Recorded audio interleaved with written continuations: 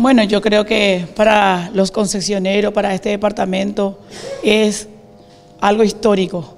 Por ende, la comisión permanente ha considerado de interés departamental y hemos citado a esta extraordinaria donde todos los compañeros por unanimidad han decidido declarar de interés departamental la entrada de los vitrenes en, el departamento de Concepción. Bueno, esto ha pedido un poco de algunos concejales y también de la presión ciudadana que hay, señora.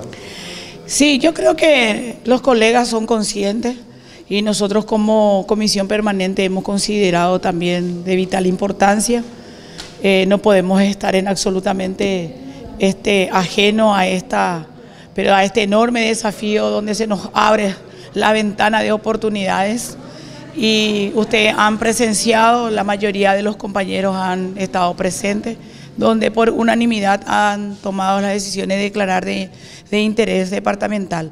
De hecho que la ciudadanía eh, cumple un rol demasiado importante porque debemos de unirnos todos los concepcioneros sin ninguna distinción de ningún tipo de, de colores. Hoy vamos a abrazarnos bajo la bandera paraguaya es lo que a nosotros nos debe de unir, el rojo, el blanco y el azul. Como paraguayos nos merecemos esta brillante oportunidad. Yo siempre digo que el norte también existe y debemos de unirnos más que nunca para poder hacer este enorme sueño acariciado por largos tiempos, un Concepción postergado, Hoy creo que todos juntos vamos a lograr de que este departamento se desarrolle una vez por todas.